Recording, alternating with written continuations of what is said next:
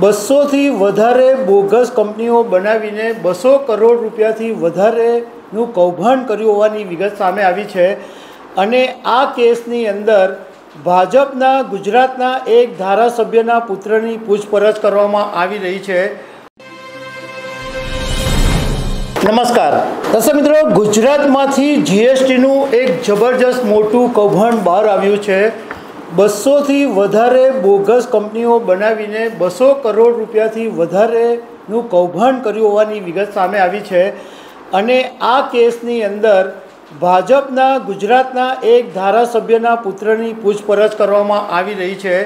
અને એક અંગ્રેજી અખબારના ગુજરાતના પત્રકારની ધરપકડ કરી લેવામાં આવી છે.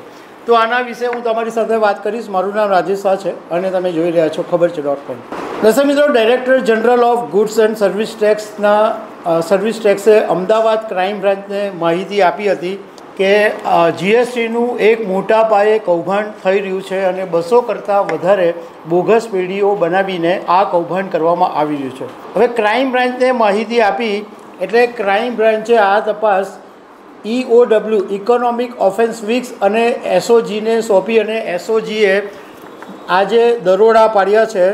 અને અમદાવાદ, જુનાગઢ, સુરત, ખેડા અને ભાવનગર મળીને ટોટલ ચૌદ જગ્યાએ દરોડા પાડવામાં આવ્યા છે.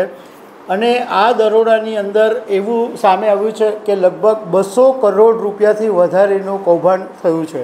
હવે આ જે આખું કૌભાંડ છે, એની અંદર ભાજપના તાલાલાના ધારાસભ્ય ભગવાન બારડના પુત્ર અજય બારડની પૂછપરછ કરવામાં આવી રહી છે. હવે આજે તાલાલાના ધારાસભ્ય ભગવાન બારડ છે.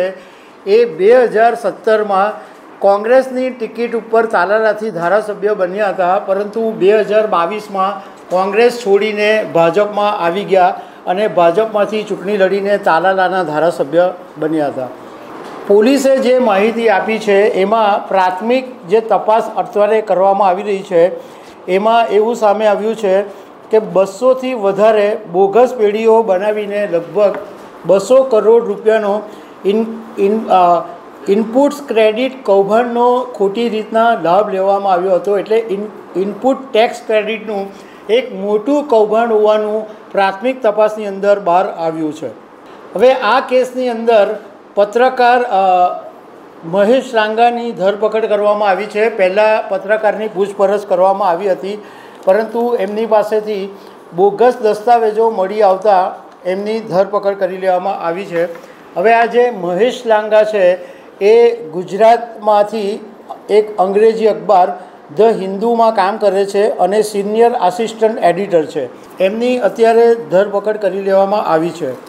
હવે જીએસટીના જે ડાયરેક્ટર જનરલ છે, હિમાંશુ જોશી, એમણે ફરિયાદમાં એવું કીધું હતું કે અમદાવાદની અંદર એક ધ્રુવી એન્ટરપ્રાઇઝ નામની કંપની છે, જે બોગસ કંપની રજિસ્ટર કરાવેલી છે અને ચોક્કસ ગ્રુપ દ્વારા આ બોગસ ઇનપુટ ટેક્સ ક્રેડિટ મેળવ મેળવવામાં આવી રહી છે અને હજારો કરોડ રૂપિયાના બોગસ બિલ બી જનરેટ કરવામાં આવ્યા હતા. એટલે આ બધી બાબતો સામે આવી, એને કારણે ભાજપના એમએલએના પુત્ર અજય બારડની પૂછ પૂછપરછ કરવામાં આવી રહી છે. એ પછી આગળની જે વાત હશે એ સામે આવશે. તો દર્શક મિત્રો, આવી અનેક વાતો સાથે અમે તમને મળતા રહીશું. Thank you very much